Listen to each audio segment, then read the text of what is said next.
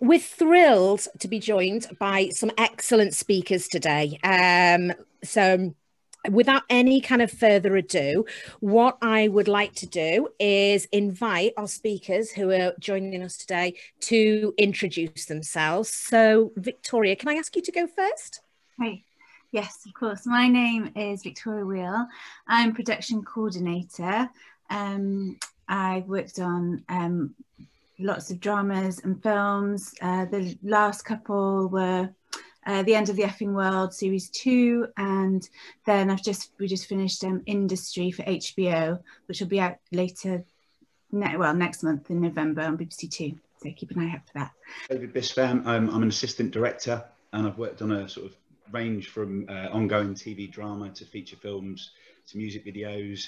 Um, the most recent stuff i've been working on is actually um, true crime drama doc um, which i did one just before lockdown haven't done one yet. Hopefully, doing another one soon. And um, yeah, that's that's me at the moment. Brilliant. Thank you so much, David. And some, a face that may be familiar to some of you, Lloyd. Yeah, Faye, thank you for getting me onto the panel. And I am stepping in um, due to this terrible challenges that we have with COVID-19. Our line producer and production manager, Dan Dathil Evans, based here in Wales, obviously can't make it today. So bear with me, I'm stepping in for that lovely lady and taking her part. So I'm breaking down the roles of line producer and production manager across the film and TV sector. And um, having worked on many different shows in both roles, and I've grown up in the production department as well. From I went in at entry level as a floor runner, then became a third assistant director, second assistant director, first assistant director, and then became a production manager and then a line producer. Having worked on various shows along the way, such as EastEnders, Casualty, um, and um, some kind of films that have happened in Wales. One Way to Denmark is now currently on Netflix uh, to be had, and Apostle as well. So um, I've had a varied, varied career really along the way. Brilliant. Thank you so much, Lloyd. I'm sure to ask you lots more about that. Mehdi, can I ask you to go next? Um, all the current and future film people, nice to meet you. Um, I work as a financial controller, accountant, production accountant, um, and I've done various film and TV gigs. Um, I started working on TV. I did a TV series called Babylon for Channel 4 back in 2014 and I kind of made my, I, work as a, I started as a trainee accountant and I made my way up to become a, a key accountant or a controller in a, a sort of American British films. The latest things I've done was like um, sci-fi for um, UK produced film for America. And then my last one was one of the Wes Anderson films called uh, The French Dispatch, which was shot in France, and it's due to be delivered probably last week or this week. I can't remember, but uh, because of the cinemas, we can't go and see them, but we have to stream them. Brilliant. Again, I look forward to hearing more about that. Thanks, Mehdi. That's fantastic. And last but most definitely not least, Tyrone. Hey, how you doing, guys? You okay? Um, I'm rookie in the game, basically. Uh, started with four days work experience on the one. Uh, I was very fortunate to get called back and to be asked to be a floor runner on the War of the Worlds, which has just completed, uh, just finished that. So uh, my career is to, to be continued, basically. That, that's about it for now. Brilliant. Thank you. That's great. Okay, so I'm going to launch into a first question with you all. Um, so um, I'm going to start with Victoria and then go around to each of you in turn. I'd, I'd love to find a little bit more about what are the key responsibilities in your job role. So within the journey of delivering script to screen, people might not know that as part of film, we, we literally build mini cities, right? Um, with so many different facets to them in film and television. So what in, in specifically with your role as production coordinator, what, what do you do? Well, as production coordinator, I come on board quite early on in um, prep. So um, I'll start maybe the kind of even before other people start. I might do stuff from home, um, assisting with the line producer, who would be like Lloyd. In um, we've worked together before, so that would happen. And um, we then can kind of start to plan basically um, how we, you know, do all the pre-production. So we'll get a production office, you know, um, kit that out, you know, basically start from the bare bones, you know, hire in all the photocopiers, all the desks even, you know, get all the paper, get all those supplies in. And then as more and more people join, we'll have more people joining our team. So we'll have um, a production runner, we'll have um, uh, or production assistant, we'll have production secretary, we'll have an assistant coordinator, a travel and um, a travel and accommodation coordinator, production coordinator, then it'll go up to production manager, line producer, then we have the producer. So depending on how big the project is, then that's how many people, you know, how big the team will be. And then we'll um, like basically um, work alongside every department. So we'll set up our own system. So we'll have like, you know, systems of like getting start forms to people, getting them on the payroll, which then accounts will take over. So we work really closely with accounts. We'll work with um, other departments hiring anything in that's required. And yes, we're basically like a kind of like a backbone really, the production team is to like the production kind of creating everything um, uh, you know, with everybody else, like being a real kind of assistance. And then we'll, um, so with them, we'll help you know get all the scripts and during um, production we'll be there to kind of just make sure everybody's knows where they're going everybody's you know there at the right time everybody's got exactly what they need they're all doing it safely um, and make sure that every day is kind of completed and we'll kind of be also then as a production coordinator um, I'll be kind of making sure everybody's just knows what they're doing and just communicating. That's a real key to the production office is kind of communicating, you know, making sure everybody's got all the documents they need, all the up-to-date scripts, um, and the call sheets that get, you know, that get distributed. So, um, you know, we're just making sure that everybody knows exactly where they need to be, um, and and also planning ahead as well for the next kind of lot of filming. So yeah, we're kind of assisting all the way along. And then once finished, uh, it completes, then filming is wrapped. Um, we um, will be there then just to kind of like get rid of the, the production office then kind of just disappears. So we'll off hire everything and um, kind of make sure everything goes back to, you know, gets rehoused, try and get some money back from things, sell things on, you know, we'll, we'll kind of make sure that everything's kind of all nice and tidy. And then we kind of as production, we then hand over to post-production who you'll speak to tomorrow. And then they kind of take the baton and they kind of roll with it then. So yeah, we're, um, we're basically a big kind of support network for everybody um, at all the other departments. Um, but yeah. That's a great way of describing it, that whole pipeline of, of, you know, where it goes from beginning to end, but also the importance you said about time and scheduling and how mm-hmm. vital that is to a production. Yeah, absolutely. Yeah. Um, I don't know, it's worth saying a bit about call sheets and the importance of a call sheet and what it is. Yeah, of course. Well, the call sheet is the document. So when you go into production, so once we start filming, basically, once the camera stops rolling, we'll be issuing um, a document that um, basically, I'm trying to, my desk is such a mess. I, I wouldn't be surprised if there was a, an old on here, I can't see one. Um, but it's basically a document um, which outlines everything that's going to be happening for almost the next day's filming. So you issue it the day before. Um, so the assistant directors will kind of, the, the, first assistant and the second assistant director will um, create this document along with then the production coordinator and the production manager to make sure um, that we've got everybody so basically it tells us all the time, the schedule of the day, it'll say what cast are in, what crew, any additional crew. Um, so we'll be, as production, we'll be booking additional crew. So we'll be letting everybody know that there'll be a, more like an additional camera, um, you know, an additional, what, you know, anybody. Um, and it just tells everybody where they've got to be, what time they've got to be. It's quite detailed. It'll tell everybody what the weather's going to be like, what they should wear. um, uh, it'll tell them what time breakfast is, which is the most important thing. Um, and yes, it basically gives all the information that you're going to need for that day's filming. So nobody needs to ask any questions, which they always do, but they shouldn't. they should read the call sheet. Read the call sheet. Read the call sheet. That's the that's the main tip. Thank you, Victoria. That's brilliant. David, can I move on to you to talk a little bit about your role? Yes, of course. Um, oh, am I not? Yeah, I'm not muted. Just checking. Good. Yeah, no, of course. So, um, so I guess there's. I'll go through quickly the three stages. So, sort of started as a floor runner, and then went on to a third assistant director. So, as a third assistant director, sort of one of the first roles you do is sorting out all the radios for the different uh, departments. So that's part of the main parts of prep. Um, going through the script and breaking down the background and all the different various extras that will um, be featuring throughout the throughout the um, project, whatever it may be.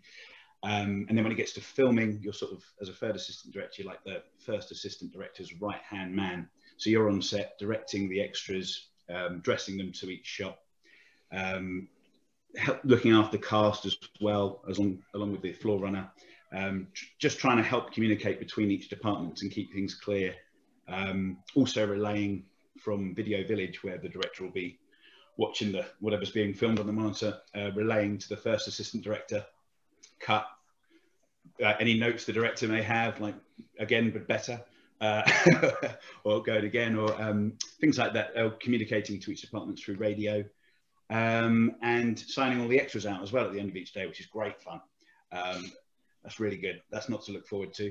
And then as a second assistant director, um, again, you're sort of, it, this is more so, so going through the budgets, uh, sorry, going through the script and doing an, uh, an extra budget for supporting artists.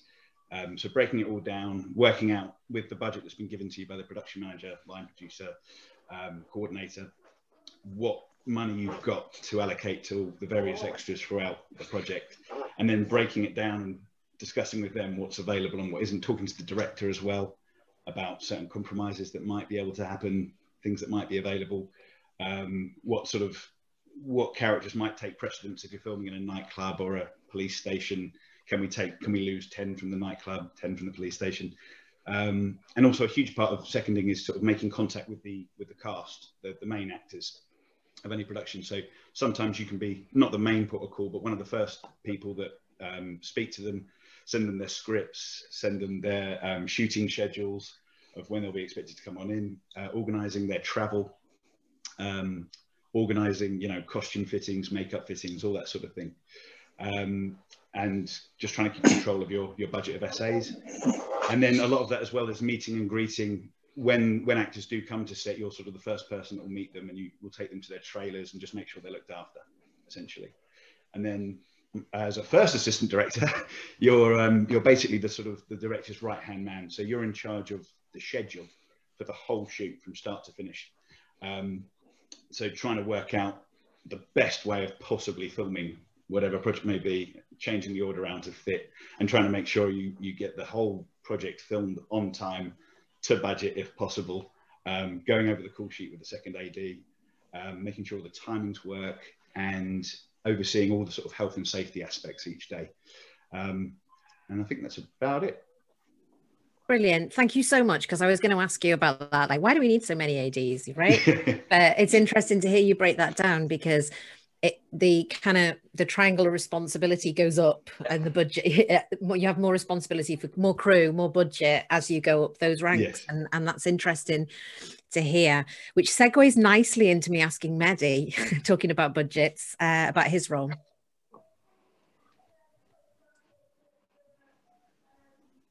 Well, budget, um, I mean, talking from an accounting point of view, is the, probably the most important thing we do we deal with on a daily um, uh, on a daily life, day-to-day -day things that we do, just from buying a phone to any sort of spending.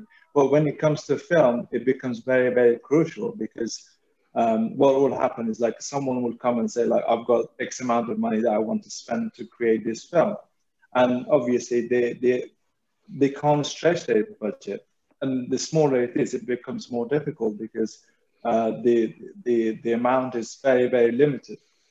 Uh, for that reason, they hire us like uh, accountants or uh, financial controllers.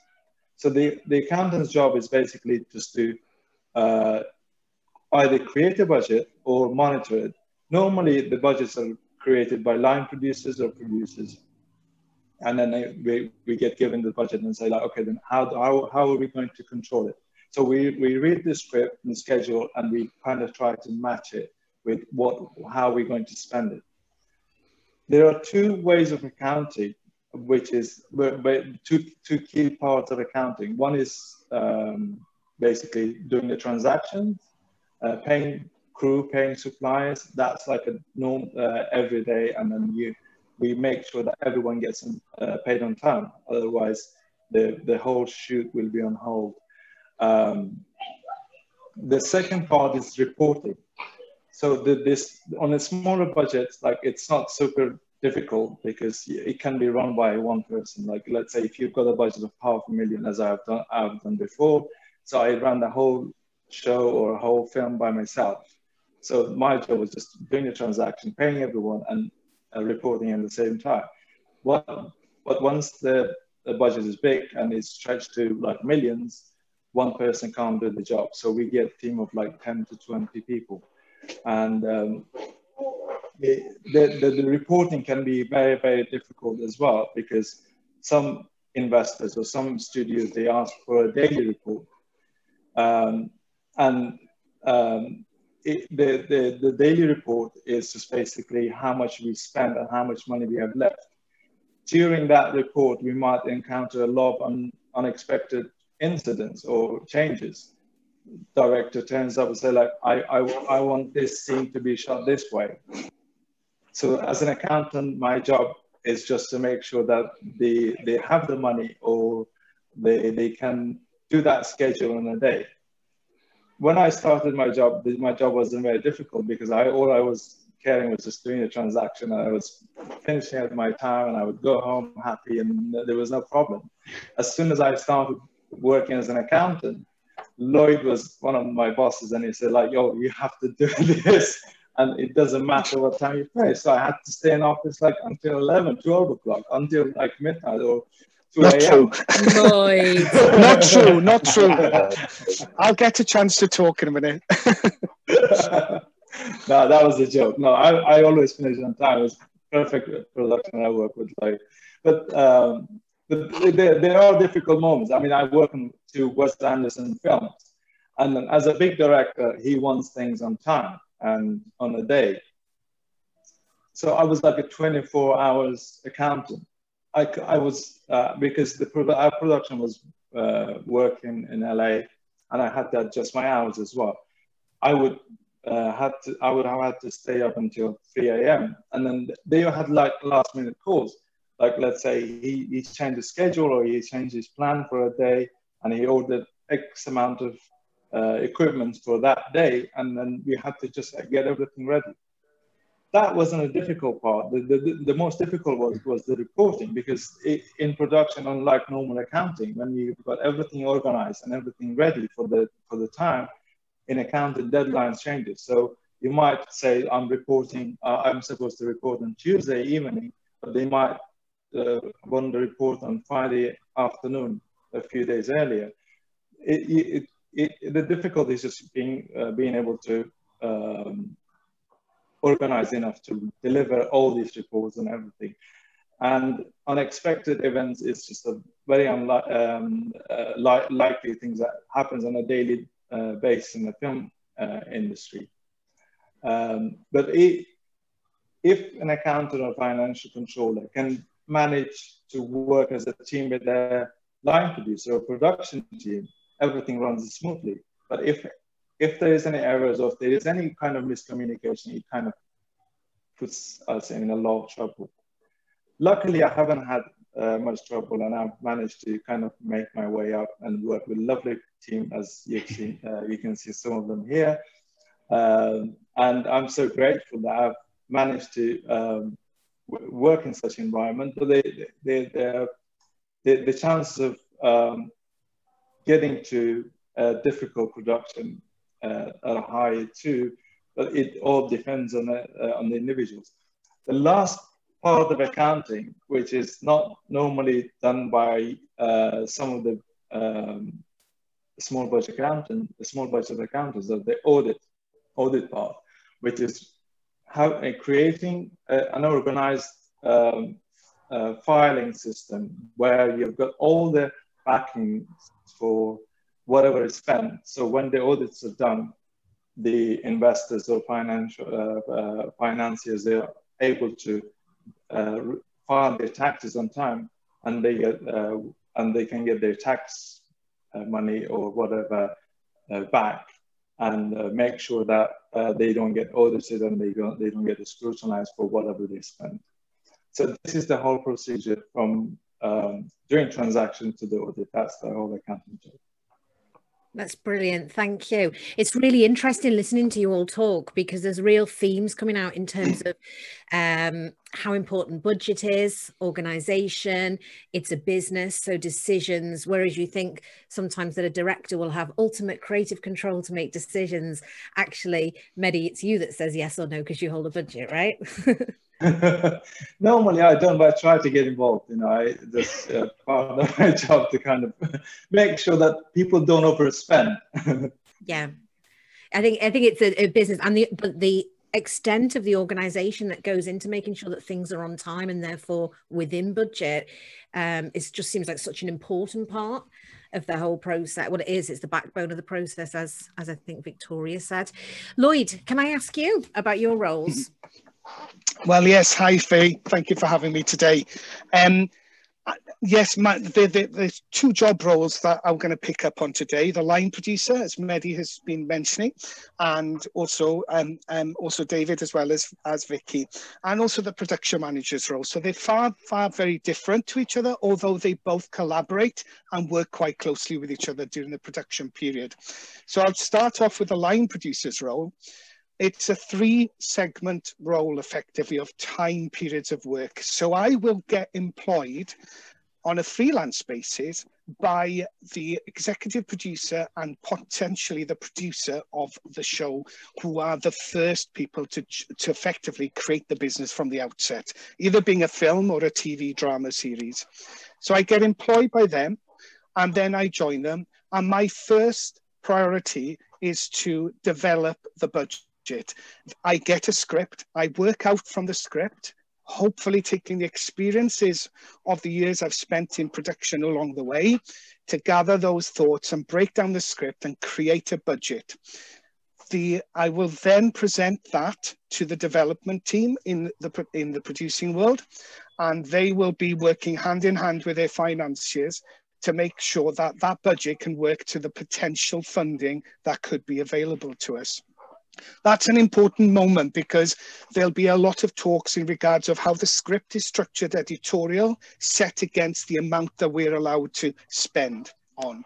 So it's a big responsibility for the line producer working hand in hand now, by now, with his financial controller or his production accountant to make sure his maths are correct, that the, the potential of the budget sits correctly moving forwards.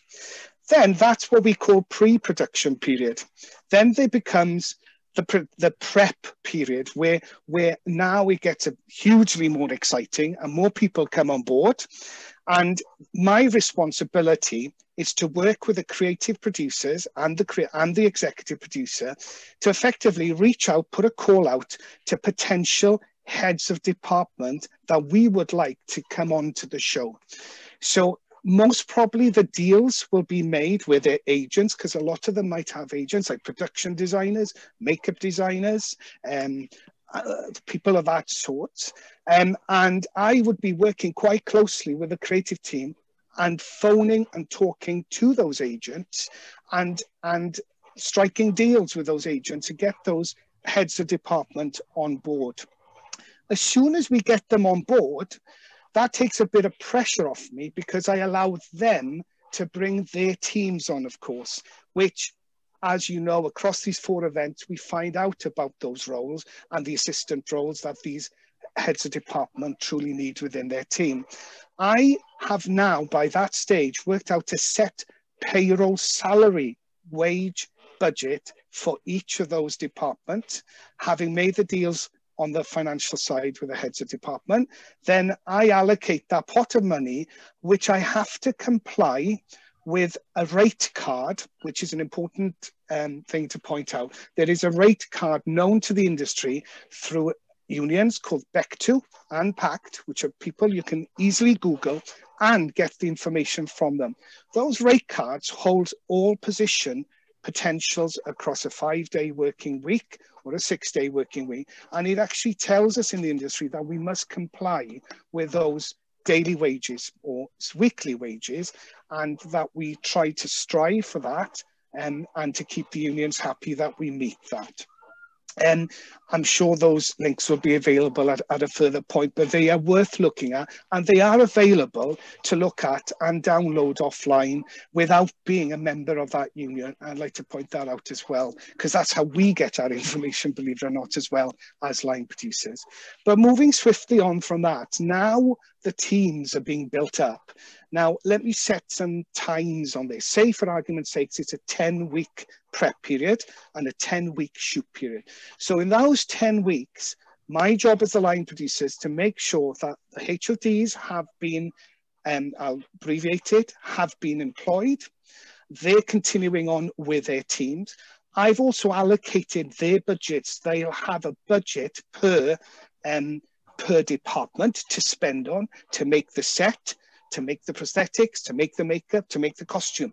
They have to then comply and work to that budget within the whole shoot period and the prep period. And they are bringing those budgets in reports back to me as heads of department. So I then filter that through to Mehdi and I filter it through to the producers and I keep a full check on all that.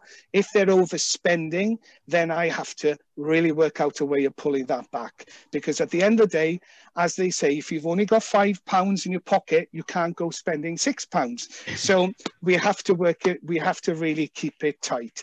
So I work quite closely at that stage with Mehdi of this world or a financial controller, because of course we have to cost report these wonderful moments of the department spending money. And by the way, they'll spend money from the first day of work. It usually is the case.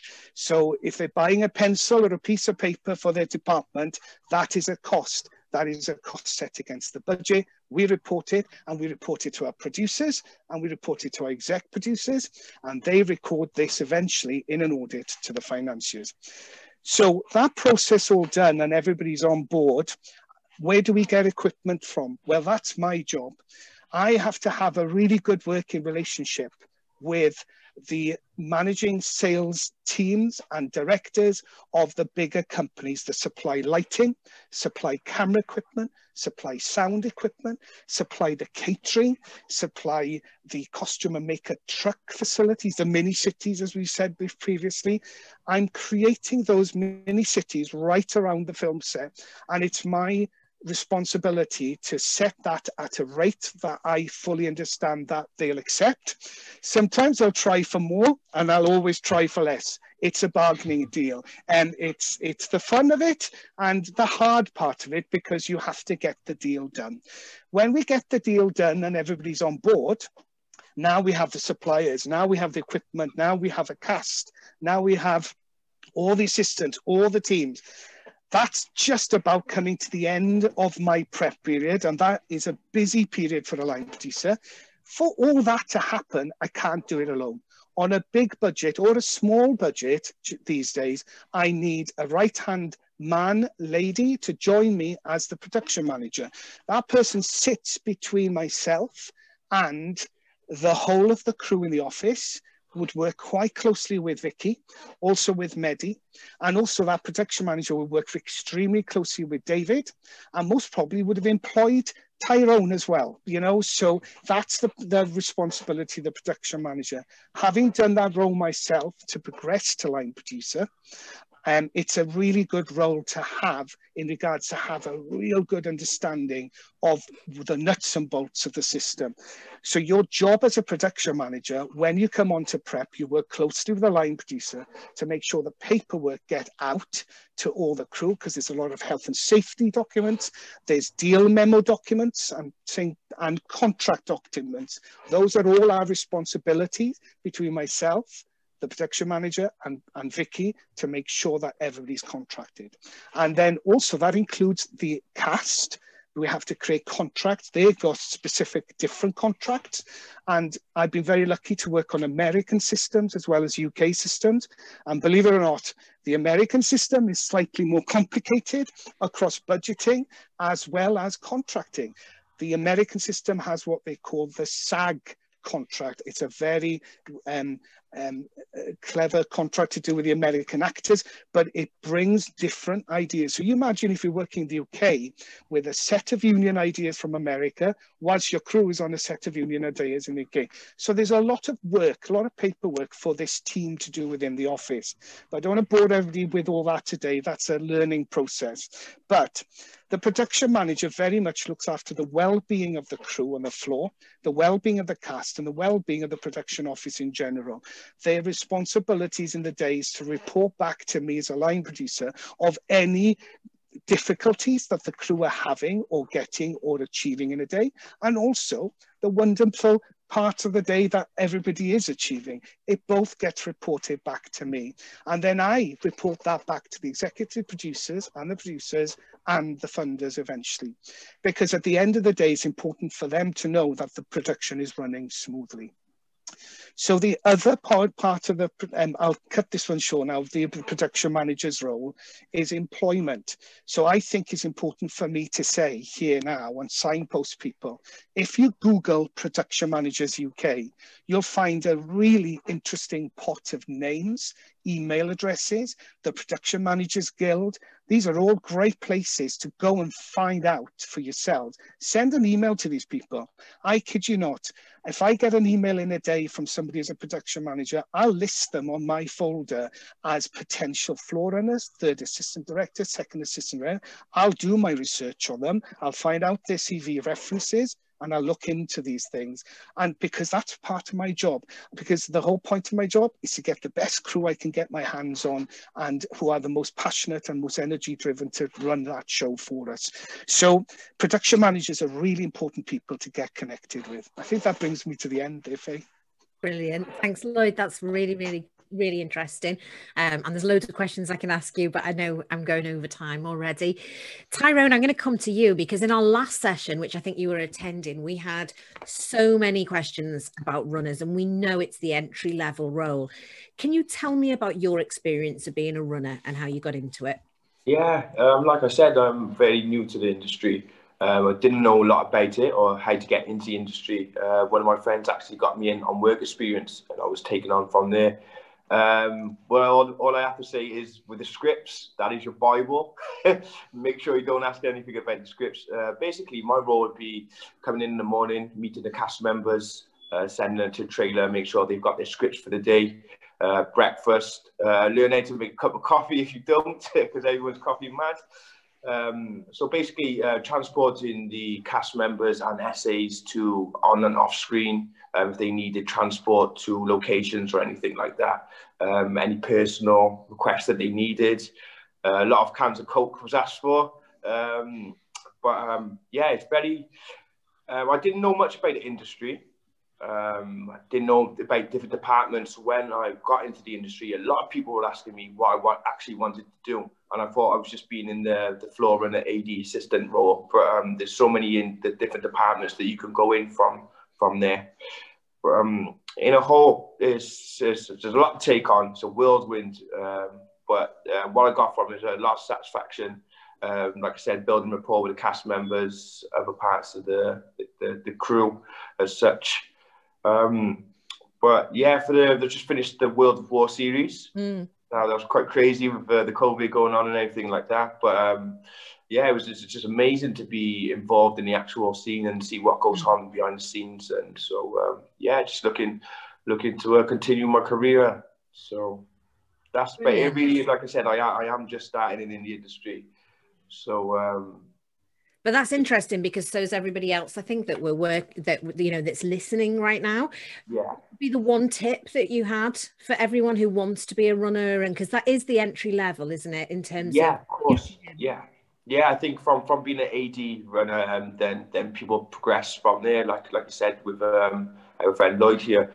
Um, it's just just being being punctual on time, making sure you're at the right place at the right time, and and just just just being as good as your job as you can be. Like I said, um, I've just got into the industry. I'm not too sure about how you go to get onto the next film and set or what have you. So you need a lot of contacts, and you only get that by by doing good at your job, basically. So um, if you're asked to do something, you you do it. Um, like I said, to say it again, make sure you can make a cup of coffee.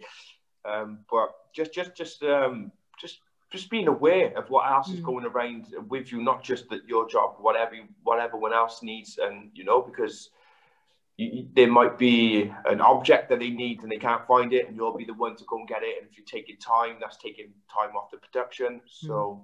so just being punctual and, and, and just, just trying to be as good as your job as you can be, really. Brilliant. Thank you. Okay. Again, it's about time and organization and how important those things are, you know, as equal as important as, as creativity is um, in terms of making sure the show runs.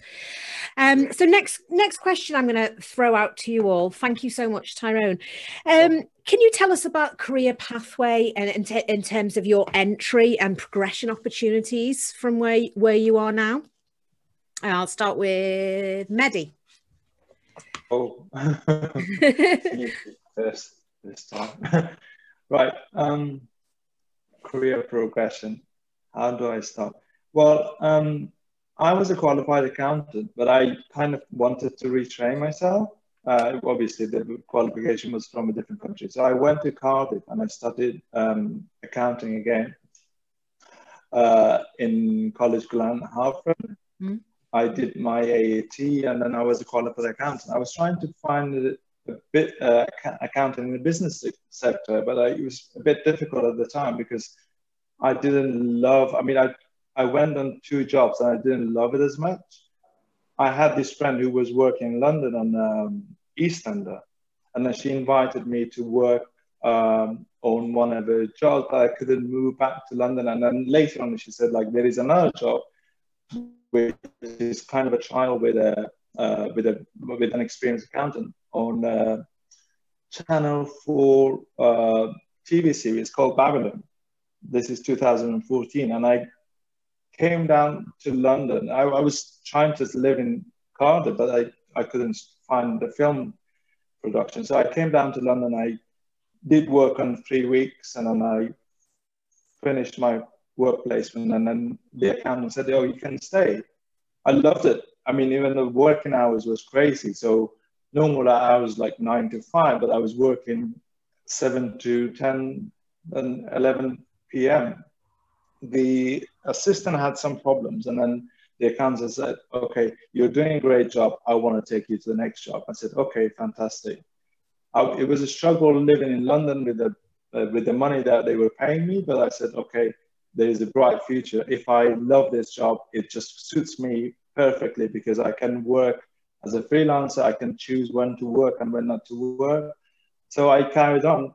And then the next job, they they offered me a job in Kent on um, a TV ser- series called Tunnel. I went there for six months. I had a year of experience and I got the job in Cardiff on a film. I got called back in Cardiff. I came back to Cardiff. I did a perfect job with this American line producer. He said, Mehdi, you're perfect for to become a production accountant because you're too bossy. I said, okay, you're more bossy than an accountant. I said, excellent. So I, I got the confidence while I was working in Cardiff. I took two months off. Uh, two months off. I basically read whatever I, all the notes I had for the two years of working.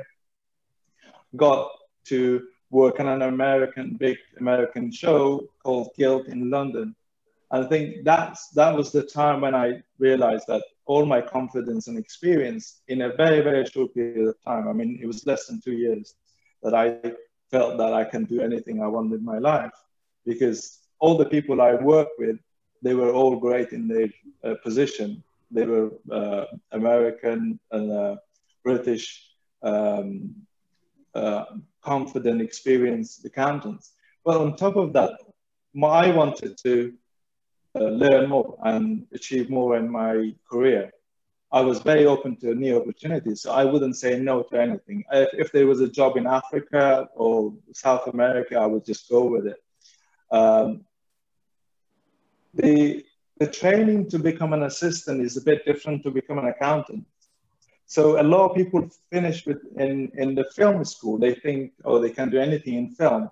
But to work in finance, you need a bit of accounting background and understanding. Luckily, I had that background, which helped me to um, to to understand the balance sheet, to understand both sides of accounts.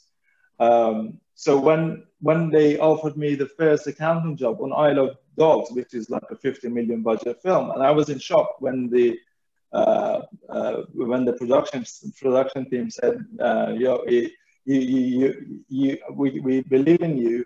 I was uh, there was a team of two or three people, and they were in post production. Post production, that size of the job is quite huge. Uh, so they said, because you understand uh, the accounting side, we are trusting you to keep you as an as a post production accountant for a six month job. So they kept me on, and that was the time which was like a kind of breakthrough. And I I I felt that I can, if I can do that side of the budget, I can do anything. Luckily, after finishing that project, anywhere I went, um, because I had these two huge American uh, uh, films in my CV. Anywhere I went, they said, okay, then you, because you, you can manage, you can manage to deliver, we, we will offer you, um, we will offer the job, uh, we will offer you the job. So the, the, the, the key to uh, become a financial controller in my um, position was just to understand multi-currency and understanding the balance sheet. Um, without the accounting background, it would have been difficult. But I don't say that anyone who doesn't don't understand accounts or who doesn't study accounting are unable to do these jobs because most of the accountants I work in our sector, they don't have any accounting background, but they are good with numbers. So anyone who is any of the any of the people here that who are interested in accounts, I would say welcome. I mean, it's it can be a bit boring. I mean, uh, as people say, but like you know, it's it's it's um, it's satisfying. You know, when when you look at, it, I mean, I, I probably try to promote my uh, my proposition, but it, it is a fascinating world because you have to work with creative uh, people at the same time. Uh, you kind of understand numbers and kind of analyze numbers and uh, apply them in in a, uh, in a creative um, business. And it, I think it's one of the most difficult uh, jobs to do that you kind of fit bit, literally between a finance world and, um, a, and a creative world. But the, the, uh, the satisfying bit is like you kind of manage to start a project and then finish it and then you become the god because you just feel completely full uh, filled that you you have you've completed the project um, films are not easy to make because um, the because of the size of the budgets. I mean, you we're talking about uh, probably one thousand pounds a day to uh, half a, half a million pounds money spent a day. So yeah. it, it it's it a lot of money. Be, mm. Yeah, it is. It is quite stressful. I mean, I, I worked in production. I spent half half a million in one day. It, mm. was hmm. quite stressful because it's there. You're you're, uh, mm. we are dealing with large sums, but um, at the same time, it's it's quite mm. um, uh, um, interesting and it's quite satisfying that you you you you've got that capacity. You know, as a yeah. human being, like you know, you as an individual, you you can manage with uh, huge huge numbers. I think it's interesting the point that you make about confidence, um, because I've seen people's confidence grow working on their first production, and then it moves on, and and I think it's um, a really key point in terms of sort of progression, getting that confidence, and then sort of being able to feel like you can do more and, and go more. I mean, it's the same in any role, but it's particularly pertinent, I think, in TV and film I don't know what your experience would be at that, that Lloyd. Well, um, I, I, wholeheartedly agree with you, Faye. There, confidence building throughout your career is is a challenge to yourself personally, as well as others within your team. So you're always trying to look out for yourself as well as others within your team. But I was very lucky. I moved from Aberystwyth, not so confident young man, uh, down to Cardiff. I, I followed a a very quick career progression in, in going to a college to learn about stage management, Royal Welsh College of Music and Drama here in Cardiff. Um, I got through that moment. I went into theatre a little bit, but I just had this calling for television and film. I don't know why. I had it in college days. So I used those skills. Uh, it, they weren't to waste. I actually fully used them. I took them on board and they became really, really relevant to my move towards television as a floor runner and thousands of emails are sent out, thousands of phone calls I made, but I got that job.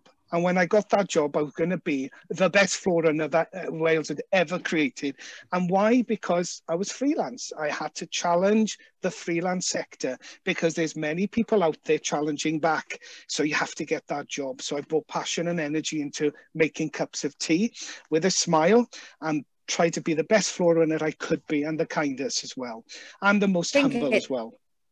I think that then, it is about being the best, isn't it? It's about trying to have, be the best. You have to be. try and be like in so many sectors. It's not just our industry, but quickly mm. then my career progression.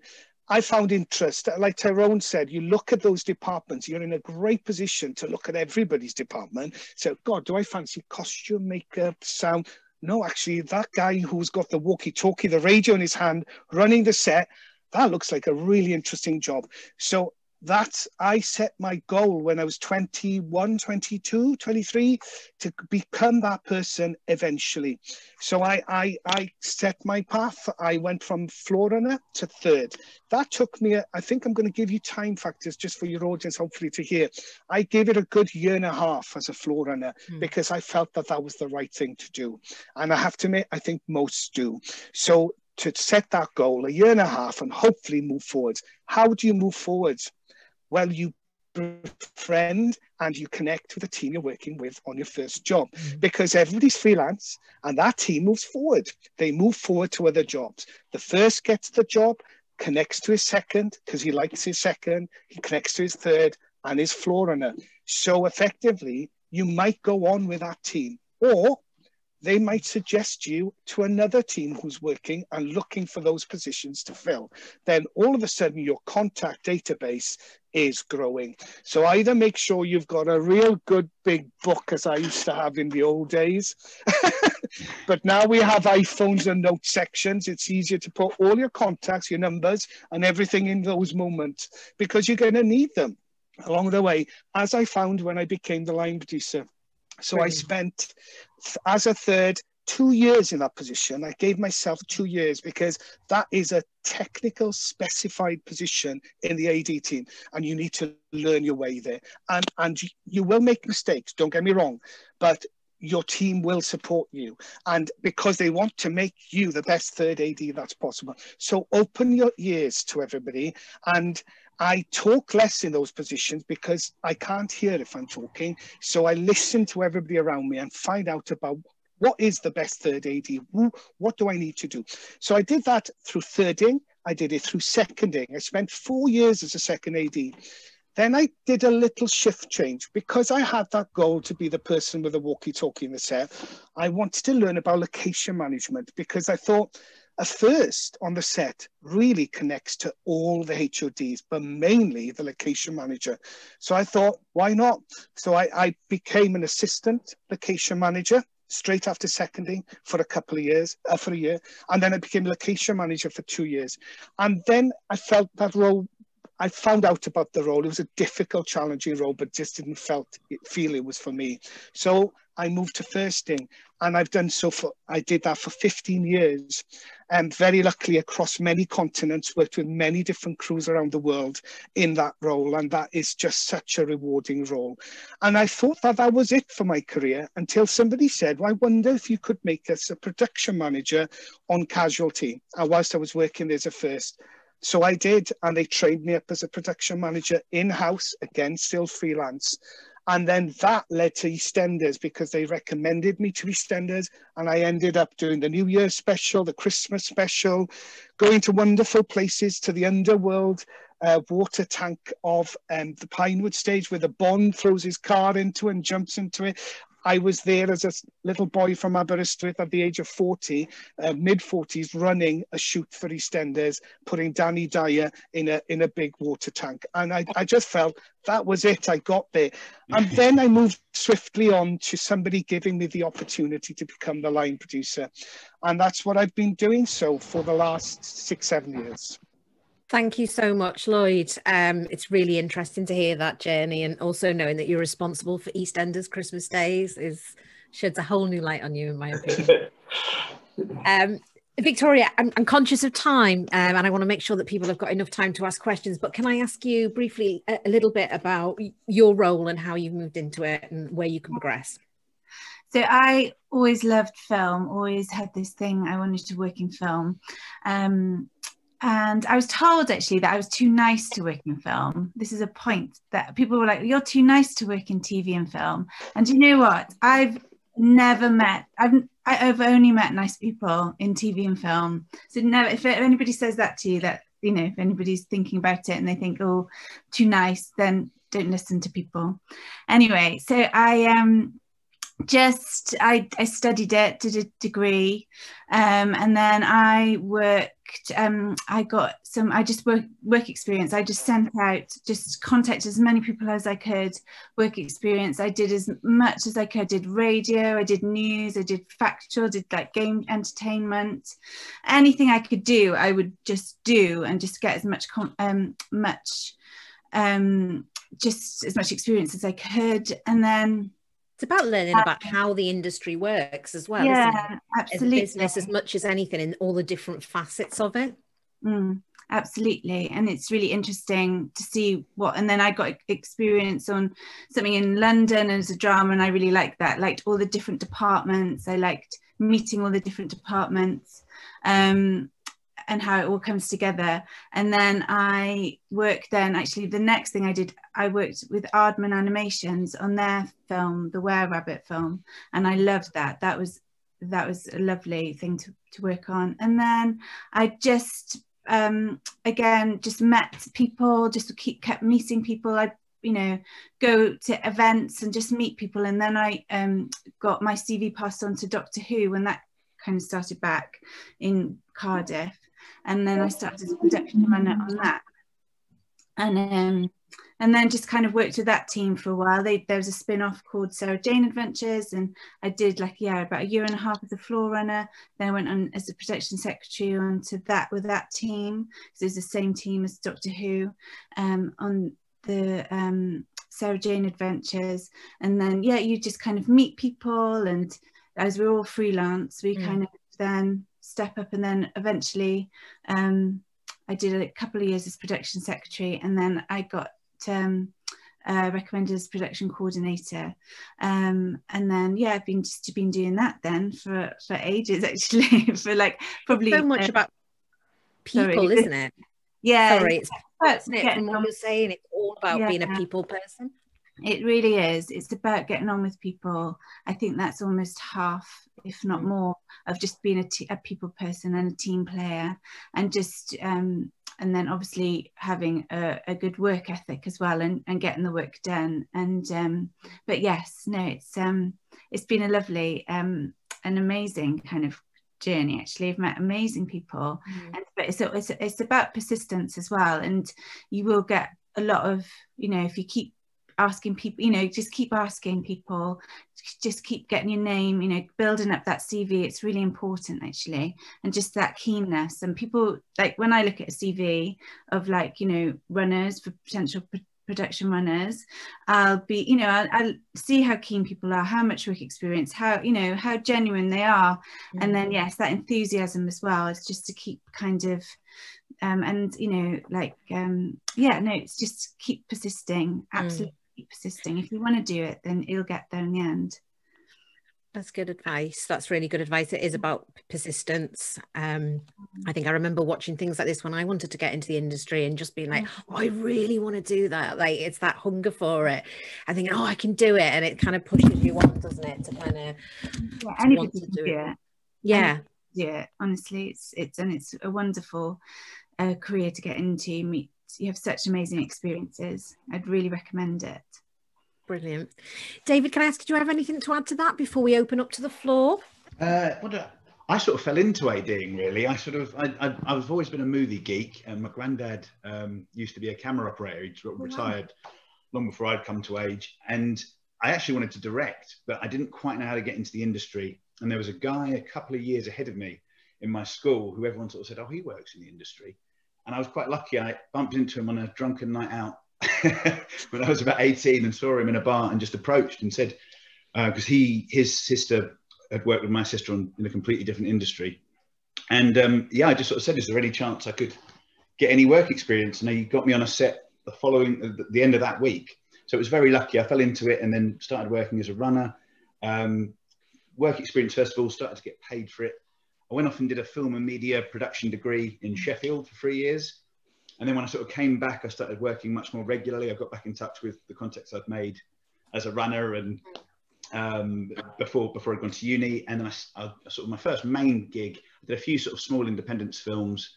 Then came on to Holby City, which has been amazing for me. It was sort of like my bread and butter over the years. And I've sort of worked up as a runner, left and made worked on a few films as a runner, varying degrees of success. Um, some big movies like there was Clash of the Titans, I think was my first, the remake.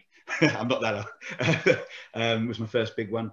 And I'd sort of go back to Holby City and they'd put me up to a third assistant director. And I had a bit of experience on EastEnders. Um, and then we'd start getting experiences on, on movie sets as a third assistant director as mm. well.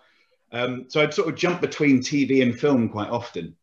And then it's a bit weird for me because in my time off, I try and make my own projects as well. So I'm mm. sort of a, I am an assistant director, but I'm not a die-hard assistant director. I've sort of got other things I want to do as well. So mm. I dip into different job roles essentially, um, which I know is the same for a lot of people. But um, yeah. I think a lot of it's just been luck, and I've made some great friends and contacts from mm. the various jobs I've done. Um, it will either give you a call, or sometimes I've mm. used Facebook, unemployed, if anyone needs an AD or of any description. Um, that point you made about kind of multi-skilling and having different roles and doing different things, I think is really, really prevalent in in the screen industries. And I think Lloyd made it in the last session as well around, you know, these are really skilled jobs and it's not just one job often you're doing a number of jobs that, that yeah. you know with lots of different skills yeah absolutely i think it's um because i think a lot of people might actually have passions for other departments that they want to get into one day um or they might not or they might change, have a complete change mm. of heart you know as, as lloyd was talking about he's progressed and gone to different things um and i think as a runner um, as Tyrone was saying earlier it's it's quite lovely because you get to see what each department does. So you might completely change mm. your entire course or plan of what what um, department you actually want to get into. And I know people who've been working in the industry for yeah. years who completely change it anyway, just because they've had enough of one thing and they think actually I'd really like to try something else. Um, mm. So I think anything's kind of possible with it, and you're not necessarily stuck to one route. Yeah, I think that's quite nice. Um, kind of place to draw it to the close just to, to show that there's that, that kind of multifaceted that you can move between those roles and there is opportunities as well just one quick before we go um tyrone i haven't asked you this question because i know you're very new into the role yeah. so I, I, didn't want to ask you but obviously you want to progress and maybe this is an opportunity for you to sell your wares yeah um so like i say the, the thing is um, like david said there um, when I got there, I was my head was just ADing, and that was my job. Mm. And then you get more and more people asking you what you actually want to do. Well, I didn't know what what uh, what departments you go into. But if anyone out there is doing in uh, in props, uh, I would love to get in the props involved with that. Uh, hope you could help me there, Lloyd. But, um, I, said, I yeah. sure can. it's really hard to network in person at the moment, so you've got to make the most of it, guys. Yeah, well done, Tyrone. I like your approach. I'll, I'll hold you to that, Mike. Uh, like you're saying, yeah, this, this, this, you may go in there with one thing on your mind and uh, come out doing a totally different thing. This, like you say, just try your best. Um, be friendly with everyone. Try and make a good rapport with everyone because you never know where you're going to end up at the end of the day. So, Hey, could I kindly just ask for two seconds to signpost something to Tyrone Of now? It might be of interest to others, but the BBC casualty system now locked into Cardiff in the BBC Roath Lock studios Yeah. run an apprenticeship scheme Mm. in the props department. I will signpost you to them, but you can Google BBC Casualty Talent Team and you could send an email to them directly and tell them what your aspirations are. You never know, being based in Newport, they might look towards you and offer you a placement on one of their apprentice schemes. It's it's a thought. Yeah, Yeah, that's absolutely. amazing. Thank you for that, Lloyd. Thank you. Thanks, Lloyd. And I think Screen Screen Alliance Wales also have jobs if you haven't already signed up for their website and to their talent portal. Um, I have a feeling they Correct. some props uh, recently for some prop makers recently, so it may be um, a case of linking in there as well. I've gone completely over time, which makes me a bad chair, but it's been lovely talking to you, and I didn't want to stop. Um, I just want to say thank you so much to you all. I'm going to hand over to Siobhan so that we can make sure that everyone has a bit of time to ask questions. Hello, hi everyone. So um, thank you, Faye, and the panel for your like fantastic contributions. It's been really fascinating listening to you all, and I'm sure our audience agree. Um, so now is the time for you to have your say. Please, hopefully you've been storing those questions in your mind. Um, now is the time to ask them.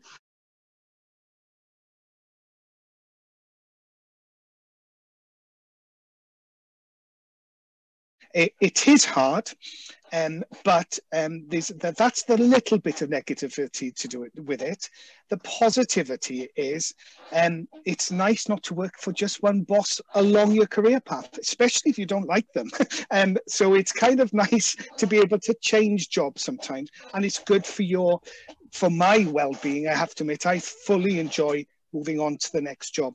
But just to let Lois know, um, it, it's sustainability in that in our jobs are very difficult. You do need a great energy whilst you're working on the job, but you need even greater energy finding the next job. But the tip and advice I would give you, if you've got a contract of say 15 weeks offered up to you in a year, my first emails go out in the second week of that contract to the next potential employers. Why? It gives me 10 weeks of money coming into my account to pay the rent, to pay the car bill, to pay for the new tyre, whilst I know my energies are being spent on the set for that employer whilst I'm seeking for my new job opportunity as soon as that job comes to an end. It'll never sit perfectly.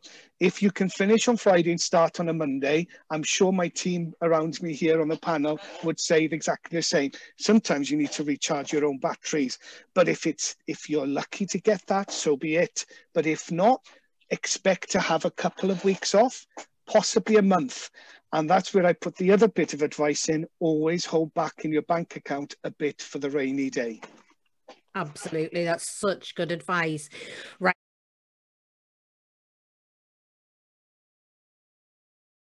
That's such a, a question. Uh, I think, as Lloyd said, actually, it was it's a really good point of finding people online and, and sending emails and sending across your CVs. Uh, the knowledge is a good source, which I used quite early on. The book, The Knowledge, which you can buy, it's quite expensive, but it's got a list of everybody in the world that you could try and uh, email your your CV to. And people are looking for people, as Lloyd said. So I think it's you know sending them an email with your with your CV is not going to annoy anyone. I think if you're sending something consistently and badgering them, that could start to upset people. I, would, I wouldn't phone them either. I'd send an email or something written because they could be busy on set. They could be having a holiday and you don't want to upset them. Um, I have found um, Facebook has been brilliant for me in times when I've been, because I used to do every after New Year's Eve, send emails to all the contacts. Hello, Happy New Year. Hope you had a lovely Christmas. Here's my latest CV, which I still sometimes do. But Facebook's been great of just letting people know I'm unemployed. Does anyone need me? and you're not actually badger- badgering anyone. So that's been a really good thing, which I've only started doing in the past few years.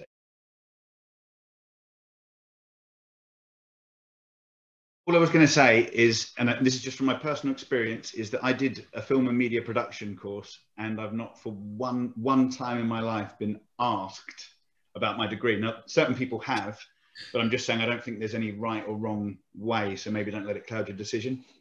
Okay. I, I'm glad I did my course. I enjoyed it very much, but it's never actually benefited me or caused me anything negative either. Mm. I, I also did a broadcast media degree. There's loads of us. Um, but I, I kind of slightly differently. I actually found that it, it gave me, it was a broad degree. Um, and initially I started to do it with English as well. But that gave me quite a broad uh, knowledge of lots of a number of different things. So we did television production, film production, uh, radio, um, and a various other different it gave me a little bit of all the things to, to kind of see. So I, I, guess I suppose it depends where you want want to go or where you see yourself wanting to be. I suppose I would also say maybe get some experience at the same time, practical experience as well.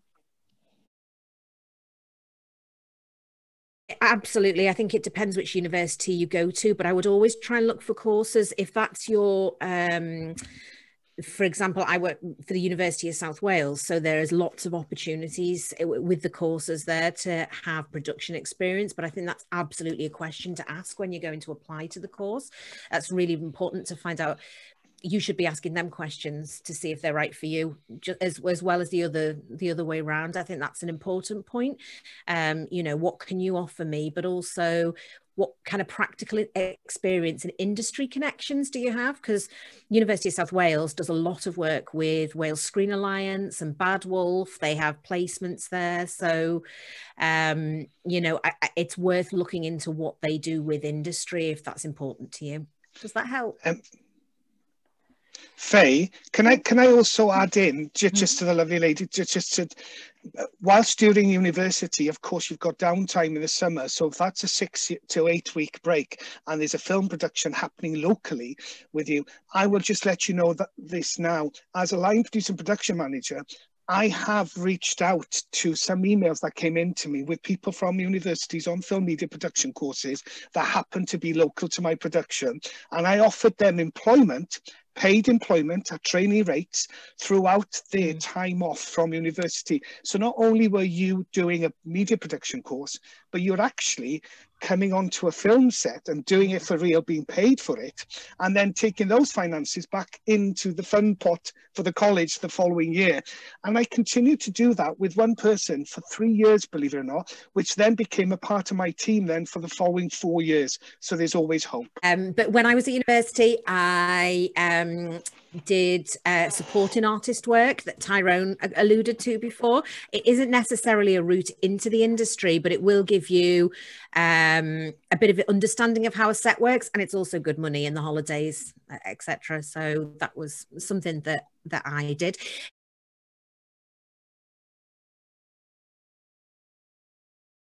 Uh, I think you know if you're training on a set, then you know it should be paid work if you're doing a job it should be paid. So i'm going to say that first of all and then i'm going to open it up um, to everyone else.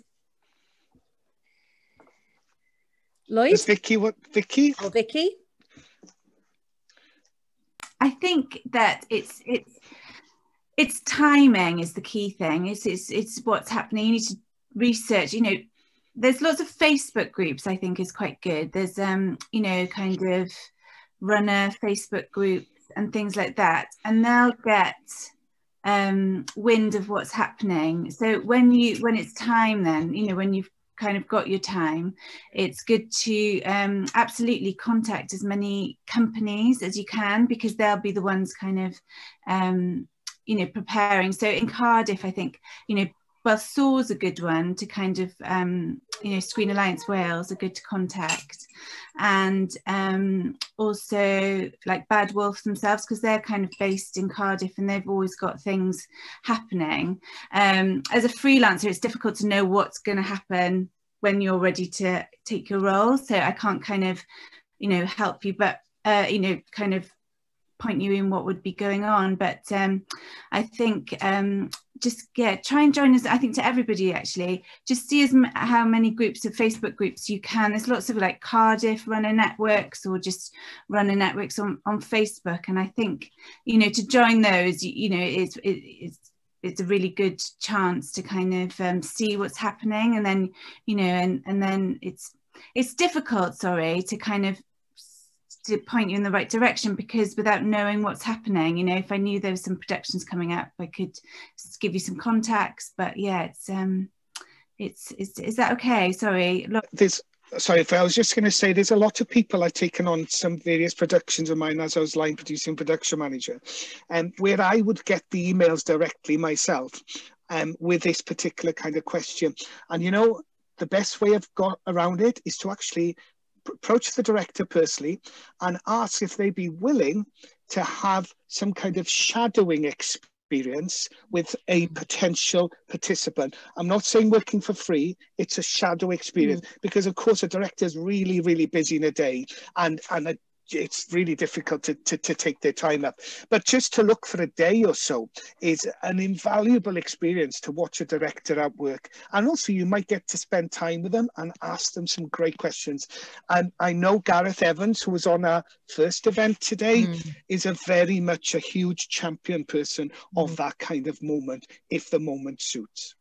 Yeah. There are schemes as well. There are shadowing schemes, like with, you know, BFI, I think do a shadowing scheme. Um, you know, different organisations. If you do, you know, it's it's research as well, but it's just again just getting emails out, finding people's emails, get sending emails, sending emails. You know, like and then we'll, we'll get the right person. And yeah, I could just say um, I was working on War of the Worlds with um, Ben A. Williams, and he put uh, a notice on his Facebook page if anyone wants to come and shadow him.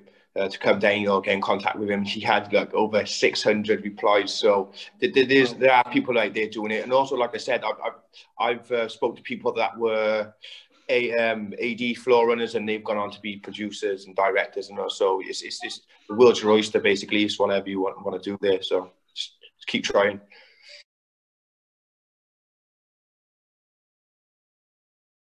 Um, well, the international productions, obviously, um, they are um, the, the, the, the main difference is like the location that you you get to work on different location with uh, different um, nationalities. Like um, I did work, I've worked in France, Lithuania, Malta, um, and uh, obviously they have their own culture, they've got their own way of working.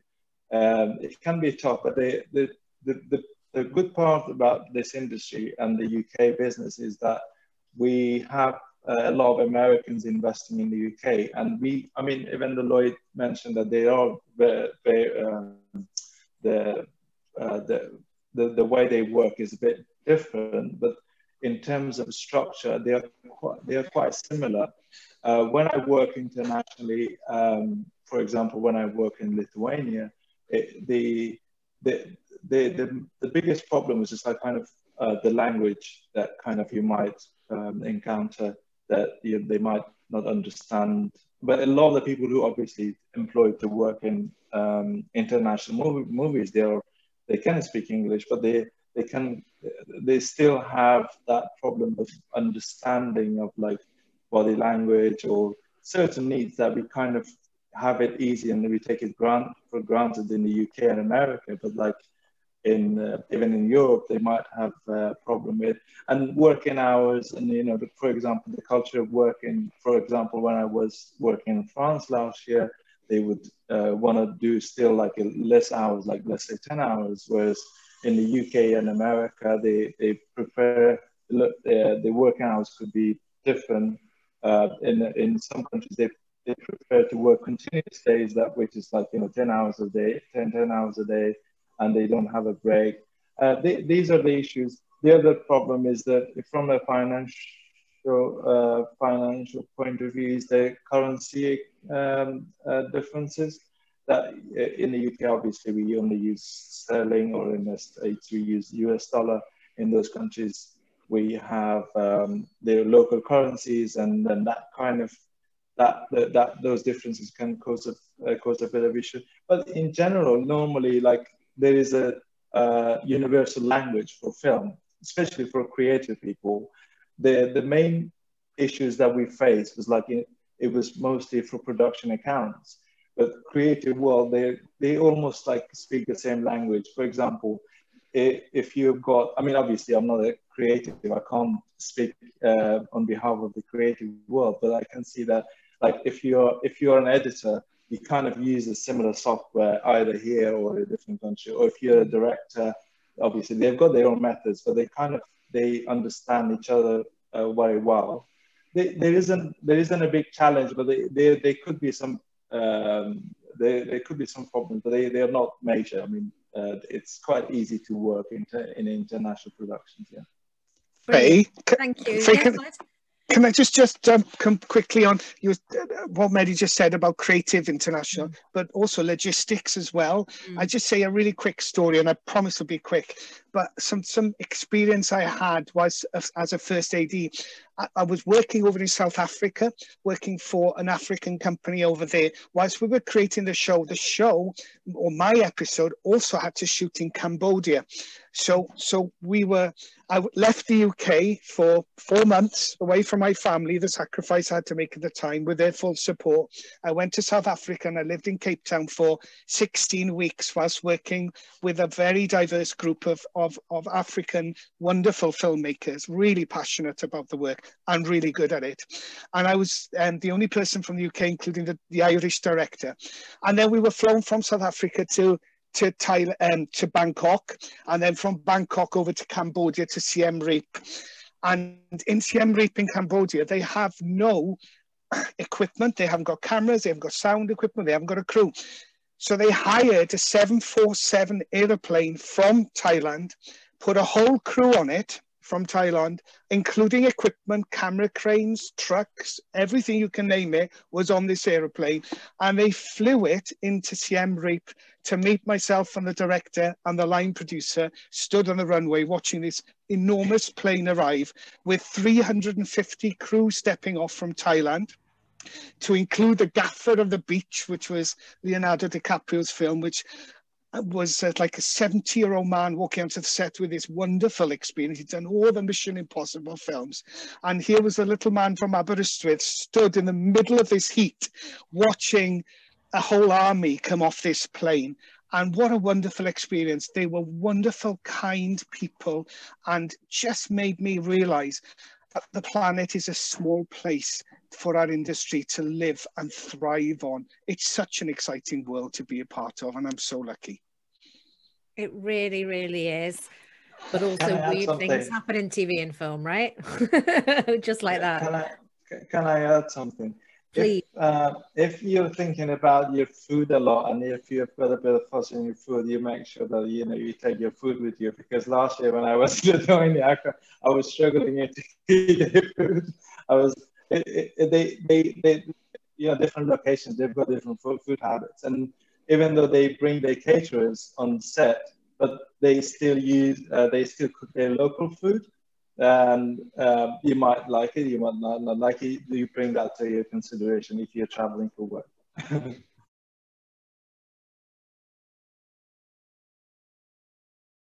That's a very good question, isn't it? Um, yeah. um, do you know something? I wonder if Axel is coming on to any of the events tomorrow, only because I know there is a Danish lady on the event called Mm. Maya Jensen, who's a female camera grip, uh, working in London and and is dealing with all those issues currently. Um, so if Axel is on um, the event tomorrow, then possibly that is a good question for tomorrow as well. But what I do know as a filmmaker, um, uh, Brexit will bring some serious challenges in January, um, especially for us in Wales. I've been very lucky to have developed and worked on some budgets involving EU, EU film grants and, and tax uh, innovative uh, schemes as well.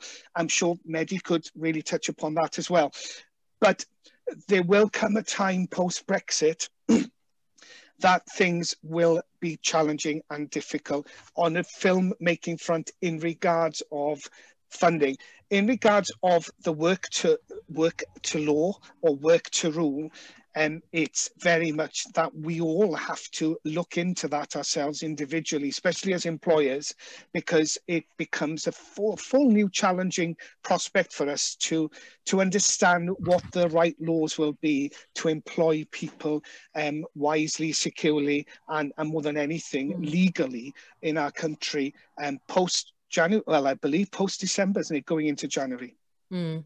But by the way, you can Google it. You can Google. It's interesting enough. If you Google film, and um, I did it myself recently, and European and and and and working time or working regulations in the UK. There's a whole array of things you can have a look at.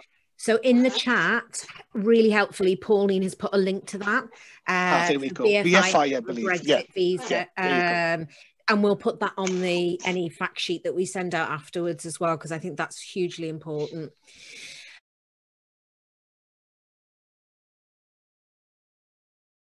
Um, it depends where your passions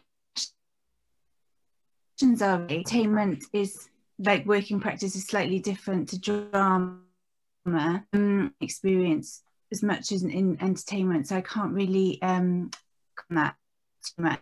Drama wise, um, production runner, um, again, it's kind of you know it, looking at what production companies are are in basically if you want to stay in Cardiff or you know obviously if you want to go further afield like Bristol if you're happy to travel um if you've or you know got somewhere to stay then just get your um just find as many um like production companies as you can they're filming just look on things like like the knowledge and then there's emails that get sent you know you can subscribe to certain emails to find out what kind of knowledge is one of them um, there's other kind of don't pay anywhere because you can get this information you know from free uh, mm. they can give you the lowdown of what's in prep um, you know what's going and just try and just research just find out you know i'd still do something if i you know there's something i think oh something's working you know who's who's the and i'll imdb the production and and you know more often than not these uh, they've already put it up on imdb and then you can kind of research you know it's all about kind of research and you know you have to kind of put the time in and kind of get your cv out contact people um, and just you know just keep going. Persistence is key you know it's like that's how i did it. And you know a lot of people i know you know didn't haven't progressed because they they main they found other ways. They didn't put it was you know they didn't persist as much. And um but i think you know it's all about just researching, find out what's happening in the area. Yeah, contact the production companies, find that, you know, SAW a really good, they're really good kind of um, contact as well. And it's just about what's coming up. Um, yeah, and just keep keep going. I don't know if that's any Thanks, help. Vicky. That's, that's great. Thank you. Faye, might it be worth signposting a wonderful scheme called It's My Shout at this stage as well for yeah. our participant? Uh, a real good um, scheme for people to look into wisely. Um, and again we can put that on the fact finder sheet I'm yeah sure. absolutely. We'll put links of any kind of programs that will give you some of that practical experience starting out. But again what Vicky said you know uh, it was the BAFTA Cymru Awards last week. Which production companies won? Because they're the production companies making the programs. So you know do that research have a look at the organisations that engage with Ffilm Cymru Wales. Um, you know, there are a lot of organisations, a lot of production companies in Cardiff, in Wales, working here, making international co-productions you know and, and that's really really exciting um but it's about seeking them out looking at what's coming up in the news what's filming when